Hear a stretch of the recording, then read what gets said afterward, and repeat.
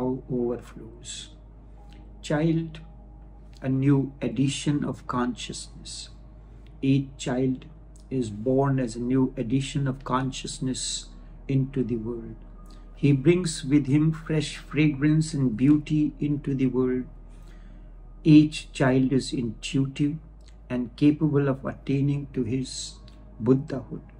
Leave him alone, uncorrupted of any influences. Free the child from priests, parents, and politicians so that he can be a human being first, not confined into narrow boundaries of religion, caste, creed, and political affiliations. Therefore, the only way to rear a child is to leave him alone, free of parents, priests, and politicians. Each of this deter the child in exploring the inherent talent. Allow them to soar high in the sky like the birds, instead being the turkeys. It needs courage and immense love in a father, in a mother, to tell the child you need to be free of us. Love your children, enjoy their freedom, let them commit mistakes, certainly help them to see where they have committed a mistake. Tell them to commit mistake is not wrong. Commit as many mistakes as possible because it is the only way you will be learning more and make each failure as a stepping stone to reach to the other side.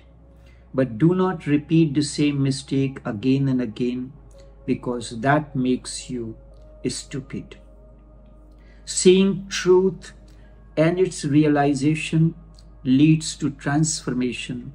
Truth alone liberates. Just see the point why your parents have destroyed you their wishes were good, but they were not aware because the seed of awareness did not blossom in them. They wanted you to be happy. Certainly, they wished you all the happiness. That is why they wanted you to become rich and a respected man.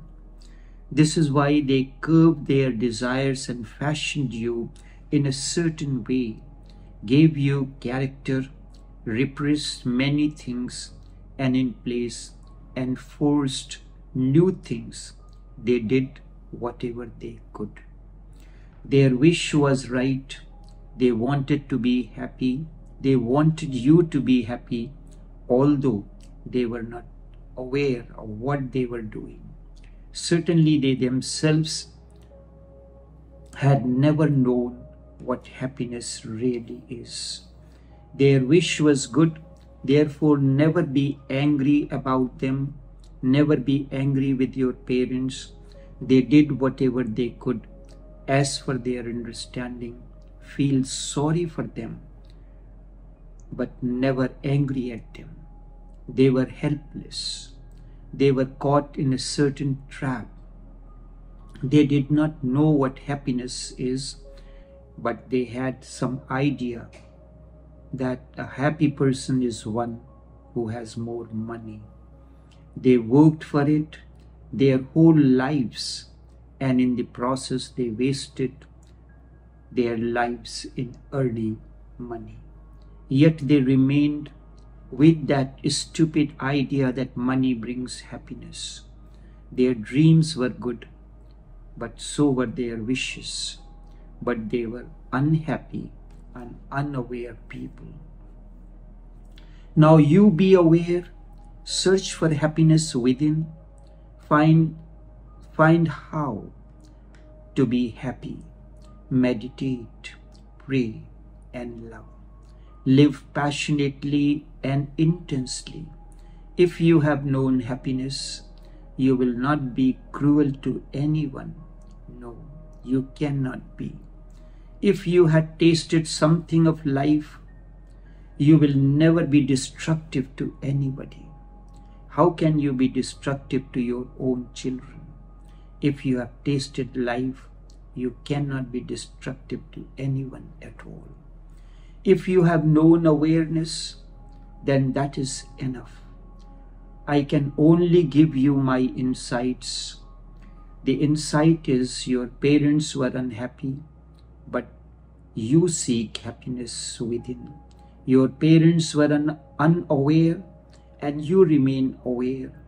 And those are these are the two things, awareness and happiness. They are not separate from one another.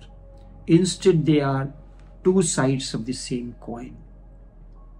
Start by being aware first, and you will reach the other shore, happiness. A happy person is always non-violent. He will be really non-violent and always remember, children are not adult. Therefore, you cannot expect children from children adult things. They are children. They have a totally different vision and a different perspective. You should not start forcing your ideas, your so-called adult attitudes onto them. Allow them to remain children because they will never be child again. Once childhood is missed, a major part of life is missed. Everybody feels nostalgia for the childhood. Everybody feels those days were the days of paradise. Never think of disturbing them. Let them grow out of their own childhood naturally and spontaneously, just as when a chick grows inside the egg, the eggshell breaks open and the chick comes out. It is naturally quite difficult for you to accept the vision of a child. Remember, once you too were a child and you have lost it yourself. A child is trying to climb a tree. What do you do? You immediately become afraid thinking that he may fall, he may break his leg, or something else may go wrong. And out of your fear, you rush to stop the child from climbing the tree. If you had known the joy of climbing a tree, you would have helped the child so that he could learn how to climb the tree they would have taken, you would have taken him to a school where it is taught how to climb trees. You would not have stopped him. Your fear is good. It shows love that the child may fall, but to stop the child from climbing the tree is to stop the child from growing and letting him live life out of fear throughout the life. And this cripples the child. This is crippling the hidden talent of the child.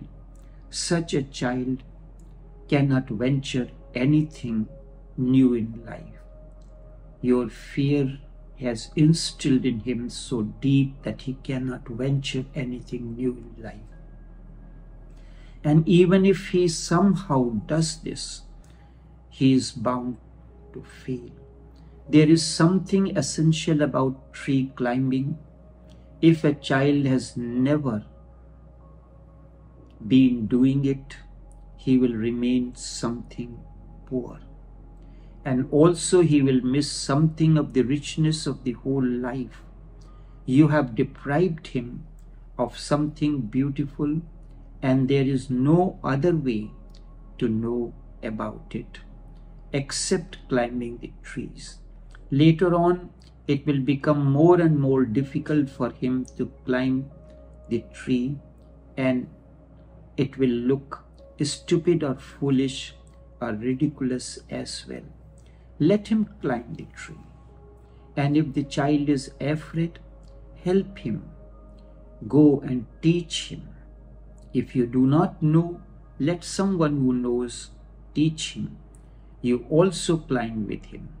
Help him learn so he does not fall. Remember, children are quick learners and very inquisitive. Satiate their inquisitiveness, and once in a while, falling from the tree is not bad, rather than being deprived forever. If you have known happiness and if you are aware, you will be able to feel for the child how he feels. A child is jumping, dancing, shouting, and shirking while you are reading your newspapers. And of course, the stupid news, the same news with a different character and situations. The news always remains the same, only the characters and situations change, but you feel disturbed. There is nothing in your newspaper, but you feel disturbed. You stop the child. Do not shout at the child, saying not to disturb daddy. It seems as if daddy is doing something great, reading the newspapers. Newspaper is the lowest kind of yellow journalism. This is the way you stop that running energy and its flow. You stop that flow and the life force that is capable of blossoming into Buddhahood one day. This is being violent. And I am not saying the child will always be allowed not to allowed to disturb. Out of 100 times, 90 times you are unnecessarily disturbed. And when you respect the child, and if once in a while you tell him not to disturb, the child will understand that. These are these are all there to trigger your inner clatter, disturbance, and disharmony.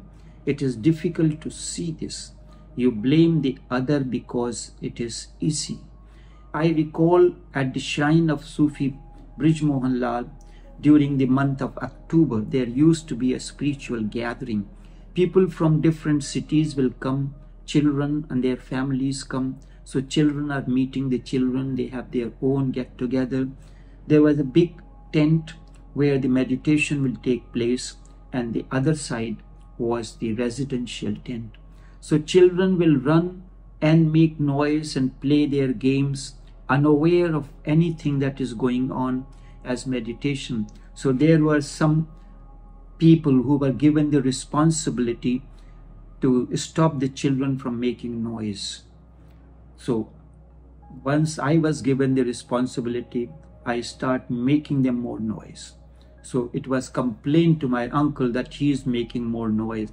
I said, if the people who are meditating, they are aware of meditation, they will not be disturbed. These children who are playing their game and enjoying it, they are not disturbed that you are meditating. They are enjoying what they are doing. Are you, if you are enjoying your meditation, you will forget about all that is going on within. And he remained quiet. Since then, they used to do a hundred meter race, running behind the children, going behind the tent. They are running all about.